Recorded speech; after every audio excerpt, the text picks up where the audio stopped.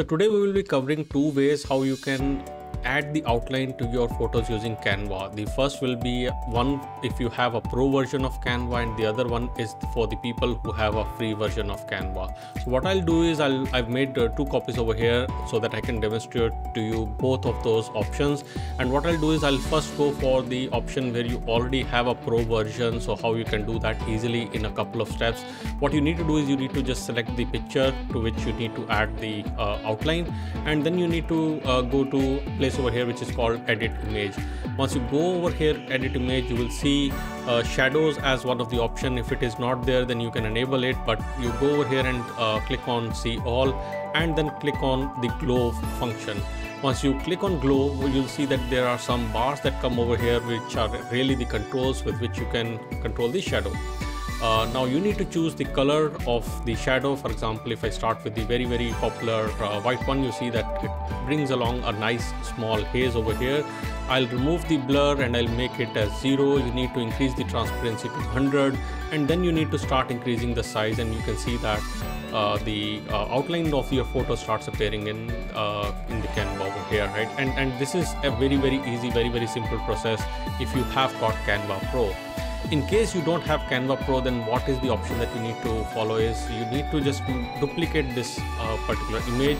So we've made a copy of this image and what we'll do is uh, again you need to go to edit image and then you need to go and click on this adjust option over here. Once you go and click on adjust you need to uh, change the brightness uh, to 100 you need to change the contrast to 100 and then you need to change the saturation to 0 and what you need to do is you need to make this picture slightly bigger than the previous one. Try to superimpose it and do send back send back. So once you do the send back you can then use your uh, keyboard or mouse to slightly adjust the picture and you can say that it has brought along uh, the uh, the outline to your uh, picture. So that's that's another simple and easy way. If you want to change the color if you don't want to have a white background and you want to uh, change the color to a different background what you can do is let me first show for the canva pro users how you can do that is uh, again we'll go to edit image we'll go to shadows we'll go to glow. Uh, and over here this time around instead of choosing the white color we will choose a different color. So for example i will choose uh, let's say this particular color and you can see the color has got changed. Uh, if you are a free user what we need what you need to do is you need to again go to the image and then go to the adjust option and you need to change the tint of your picture and then you need to increase your uh, saturation as well.